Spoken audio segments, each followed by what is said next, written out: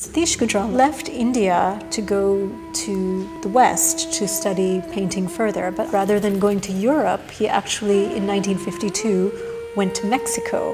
And so his works, at least from this period, there aren't that many, were heavily influenced by Mexican themes and motifs, and also certainly communist, the communist leanings of his friends after he returned to India, he, his experimentation led him into other directions.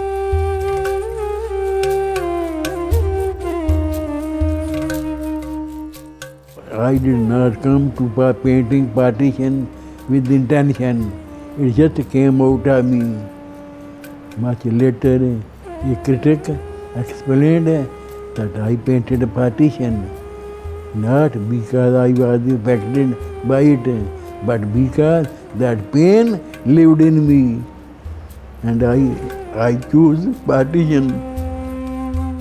I was not painting for my others, I was painting for myself. I do not think. I think, I believe an artist is not a thinker. He is a feeler. He cannot explain in words. I had seen part of those days during my visit to United States. And I saw those tools you do from changed in form and color.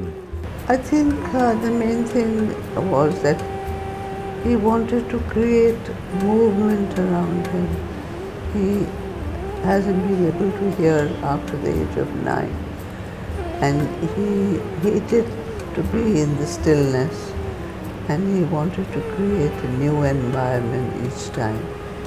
So he got bored a couple of, you know, worked in a medium for a couple of years and then wanted to discover a new style or a new expression. And I enjoy and admire him still for that, that he is able to, you know, set his imagination free.